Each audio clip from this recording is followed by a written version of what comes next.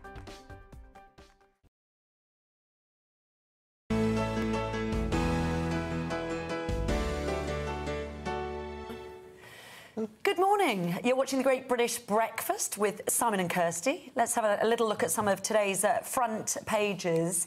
Daily Mirror saying energy prices are set to soar after the industry watchdog lifted a cap on charges. Millions face, they say, £150 price hikes in an unprecedented surge in fuel costs. And finally, you fat cow. You all- that's your favourite thing I should have waited today, until they showed it on screen. That, that wasn't good, was it? Anyway, there it is. You fat cow declares the Daily Star front page. But don't worry, it's not directed at anyone in particular, Kirsty. This is the story of cows being kitted out with Fitbit-style step counters to ensure they are on the, wait for it, on the move. We should be asking our next guest uh, what he makes of your brilliant comedy timing. Oh, quite my frankly. God. Are I'm sorry, I jumped the gun there.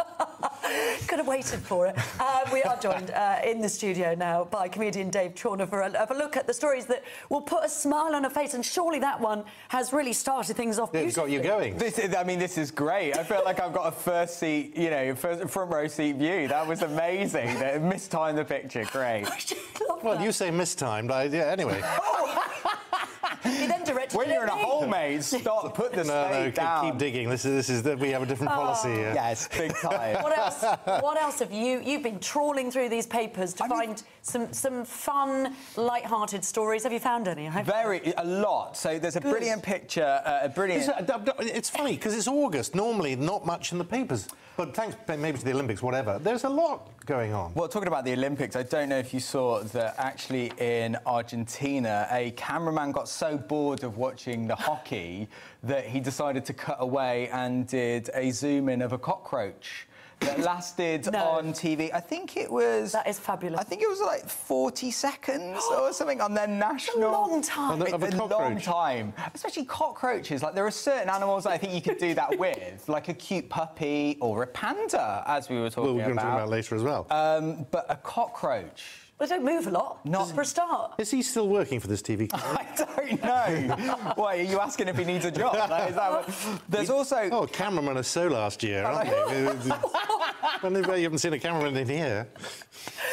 Oh, What's wrong, mate? Like, what's wrong He's been today? very naughty today, haven't you? Naughty, mischie- mischievous. shall Yes. say. No, just cooked lots of coffee, that's all. Well, speaking Right. of mischief, there is a woman who's been left baffled because she decided that she'd seen a lot of things going uh, weird in her back garden. She'd noticed some unusual movements. So what she decided to do was install a small outdoor camera under a guttering. She came home to find that there were two cigarette uh, cigarette butts on her path by her seating area. She checked her camera and she realised that her neighbours had been using her garden while she was out at work for the past three months. Are you joking? No, and she just continued to film them every day. She left to go to work, and they just went out and sat in the garden. Just had a lovely time, had a smoke, had a coffee. Yeah, oh, yeah, it's, I think that's absolutely brilliant. Oh, it's fabulous. That's all right. That, that's all right, isn't That's it? all right. It's not. That's Yes. a legal precedent right there. Simon Yes. McCoy says it's fine. Yeah, all right then. I'm not sure about putting Pop round cameras Your up- garden. Well, I'm in a basement flat, so good luck with that. Anyway, yeah. Well, also talking about excuses, a brilliant excuse that's out today. Uh, Derbyshire police uh, were caught stopping a woman who was doing 130 miles an hour on the M1 on Tuesday night. She was only on a uh, provisional licence. She wasn't supervised. But she thought that she would get off the speeding offence because she said that she uh, needed the toilet. Oh, come off it. She was caught between junctions. What was she driving?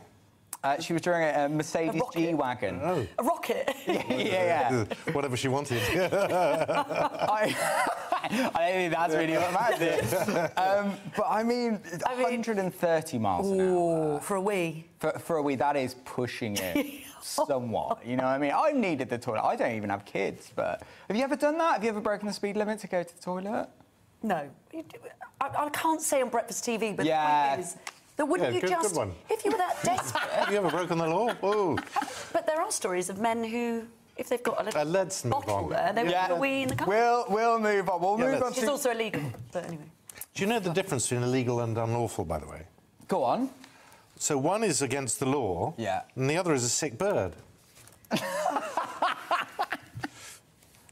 All right, okay. Oh, That- my that- goodness. that- Sorry, Dave. Right, back to this. Yes. What else have you got? I, I find it very funny that uh, two silver medalists uh, have been removed from the Olympics. Uh, I don't know if you saw this story. Um, they were removed from the Olympics after they left the Olympic Village. They're 27, 29. They play for um, Japan and they decided to go uh, sightseeing, but that's What? banned. In their own country? In their own Japan. country. but but in the in the city apparently. So they uh, they've been like yeah they've been kicked out of the Olympics because they're not apparently the uh, Olympic uh, Olympians are not meant to go out and. Well, no, they're not. They're not. So then they just. Well, it's in decided- total lockdown, Tokyo, Yeah, isn't it? total Yeah, yeah. lockdown. Yeah. They just went out for a little, thought- little pootle around, have a sightsee. I mean, I kind of, I kind of get like, you might never be there again.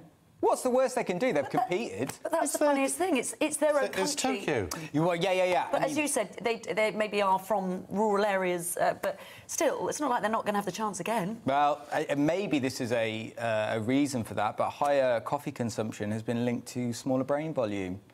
This is retail. Yeah, look at Oh, your God, face. I'm not saying Wow. Well, well, there's a first. Research that has come out today, uh, come out yesterday by South Australia University, uh, and it also risks uh, higher risk of dementia as well. This is between uh, participants between the ages 37 and 73. Those that had more than six cups of coffee a day. That's quite a lot, isn't it? well, is it? Six. I don't. I actually don't really drink coffee. But I, I, I'm one, minute, one tea minute coffee's good for you and helps boost Oh, brain yeah. power, and now, now it what? It, it, it leads to dementia. Uh, 53% increased risk of dementia. Right. Quite a lot. Oh, that's really hard. Although, guess how much the global coffee consumption of the world is in kilos? It'll be massive. in kilos. In kilos. I have no idea. Massive. I mean, it'd be weird if you I mean- did know. That, in fairness. Quite weird you bring it up. Actually. Uh, yeah, I, well, I don't have the answer. I was just asking Oh. a bit. No, I do. Uh, it's it's nine billion kilos Oh. a year. I don't know what that means. Can you picture nine billion anything? I mean, what, what, I what does nine agree. billion kilos look like? Yeah. Humongous. Yeah. I think coffee is a widely drunk drink, isn't it? I mean, it ma- well, That's no, that but it is. breaking story. Oh, yeah, no, yeah. Break- yeah. No, no, no. you said- From, what I mean from the statement said- of the. When you said about six coffees a day, I know people that love coffee drink double that. A day. Yeah, well, I love a little coffee. espresso, another espresso, or a. Yes, I don't see anything wrong with that at all. How many have you had today? So it, it, I made, I this, is you one probably my, this is probably my fifth. Is it? Yeah. Fifth. Yeah. Well, how else do you get through the Great, Great British Breakfast? I don't know how you get through it, but that's how I get through it. Coffee. Countless coffees.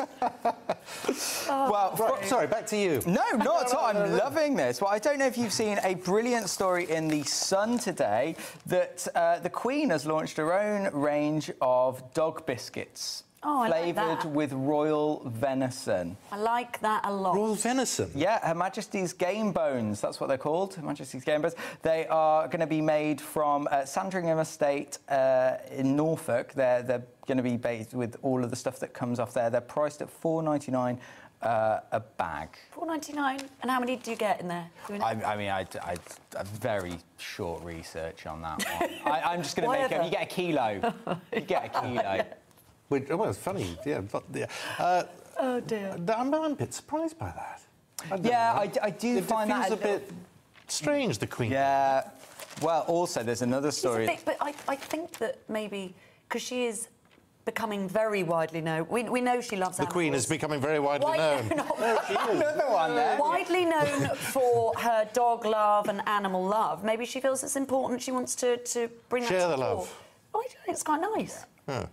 Well, Not get, you're not. You like dogs, do you? Yeah, yeah. Would you invest in a 4.99 pack of, your, of the No. Queen Sandringham No. venison? No. Why?